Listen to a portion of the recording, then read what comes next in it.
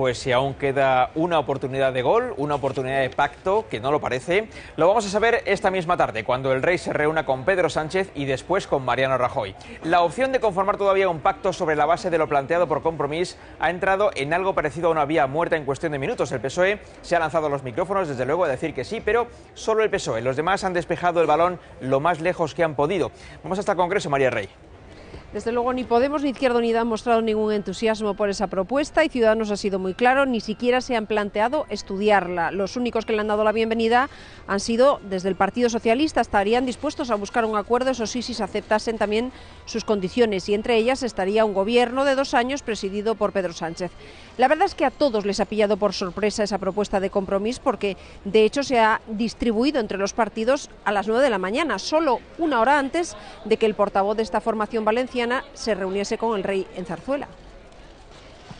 Una vez se cerraba esta puerta, Compromís le enseñaba al rey una propuesta, dice Joan Baldoví, que se ultimó de madrugada y reconoce ha sido algo improvisada. Por si eh, a última hora podía haber un milagro. Dicen en el PSOE que el documento les ha llegado a su correo electrónico a las 9 de la mañana. Este es el momento en el que Sánchez con su equipo valora el documento, dicen que es plenamente compatibles con el acuerdo que tenemos firmado con Ciudadanos.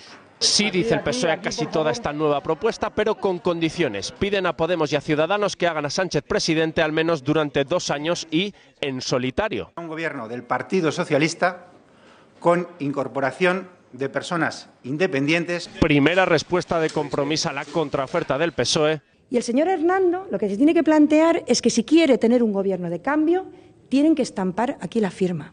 Albert Rivera la propuesta le coge en su reunión con el rey. Con ese documento asegura es imposible evitar las elecciones. Tres páginas para gobernar cuatro años entre seis partidos.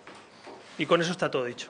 Y por tanto estamos abocados, lamentablemente, a unas nuevas elecciones. En el PP dicen la ocurrencia de Valdoví es una tomadura de pelo. Documentillo preparado por el señor Valdoví de tres paginillas con el que se pretende gobernar España los próximos eh, cuatro años y con un cheque en blanco para el señor Sánchez. Esta tarde Rajoy reiterará al rey que ahora mismo no tiene apoyos para formar gobierno.